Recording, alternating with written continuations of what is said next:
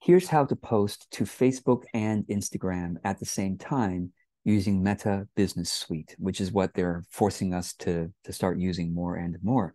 So when you come to Meta Business Suite, you'll see a button that says make a post. Today happens to be National Cupcake Day. Congratulations.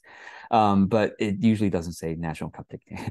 so click on the, the, the, button that says make a post. Um, all right, so let's go ahead and do that. And then when you do that, it'll either default to your Facebook business page or your Instagram. Now, assuming you've connected your connected the two in Meta Business Suite, that'll be a separate video. You can click here on the drop down and then select both if you wish to.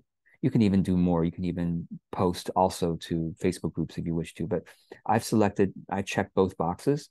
So now when I click away, you'll see that both of these icons are here.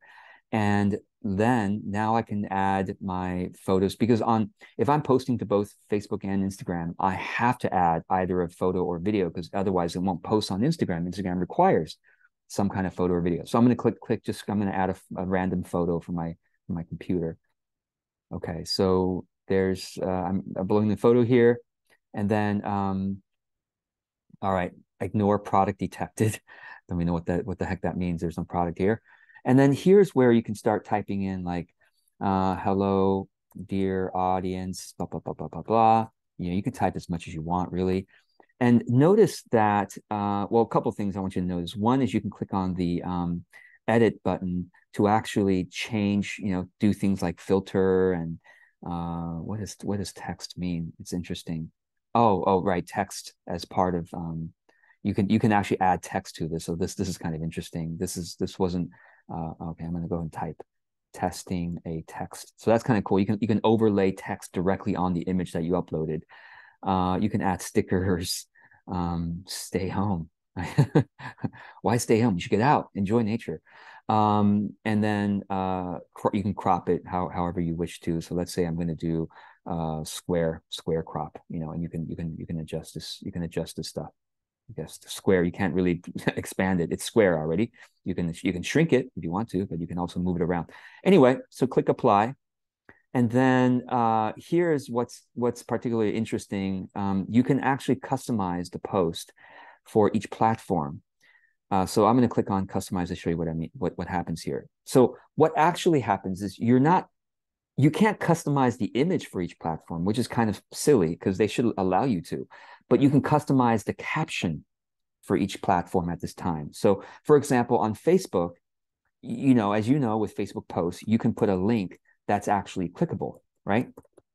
So, um, I think just www is needed, but if you want to be just in, if you want to be, you know, super uh, certain that it'll be clickable, you could you should put HTTPS colon slash slash to it or HTTP, whichever your website is, um, slash, you know, blog or whatever you want to add. Um, so the problem is Instagram does not take links, right?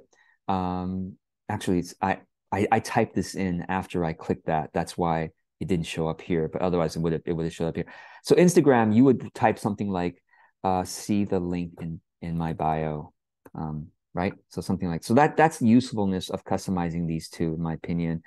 And uh, and also of course hashtags. So on in- Instagram, people are more likely to use hashtags than on Facebook. This is another thing, but Instagram hashtags technically would look better as the first comment rather than within the caption. Doesn't matter, whatever. So then now you can schedule. You can schedule or publish now on both platforms, and you know you you know select the date and oh, interestingly, you can actually customize the uh, you know, you oh, I want to post to Facebook first, and then two weeks later, post the same thing to Instagram, so that it's not, you know, it keeps it more interesting for my audience or whatever it may be. So that's that's that's pretty cool.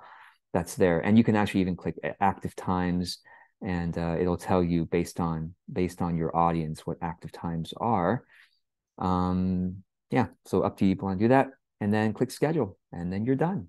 Oh, one more thing on the right hand side, you can see how it looks on Instagram versus on Facebook. So you can just click on the menu to, uh, to, to, to see the preview. So I hope this helps. Comment below if you have any questions at all.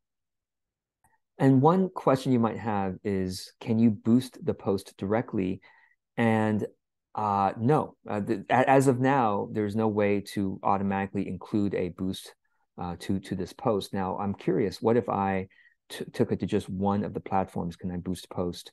Um, no, I can't at this time, but they might they might add that in the future. So yeah, um, there we go. Hope that helps.